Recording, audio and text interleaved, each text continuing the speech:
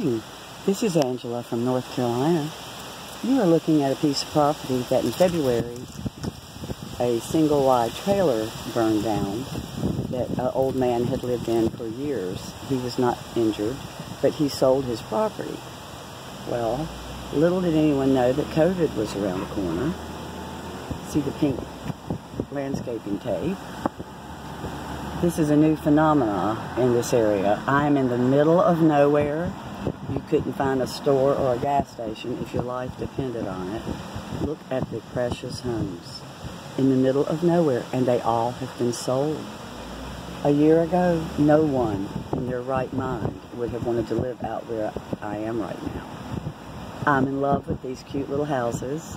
I even looked them up on the internet. Are they not precious? They have stone. Everybody only has half an acre. I just think what a wonderful life my husband would have if he didn't spend all day cutting trees and cutting grass. Aren't they precious? But everywhere you look in the country now, someone that like an old farmhouse, they've now made a neighborhood. They put little cul-de-sacs in, and they turn these little farms into like five or six houses into a neighborhood. Cute? I was stunned.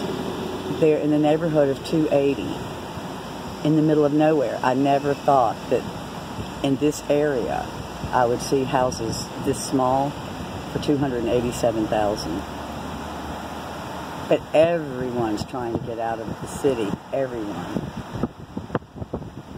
So as you can see, the man did own quite a bit of land. So this is where it's going to end. So I don't know if you would really call this a neighborhood or if it was just an opportunity.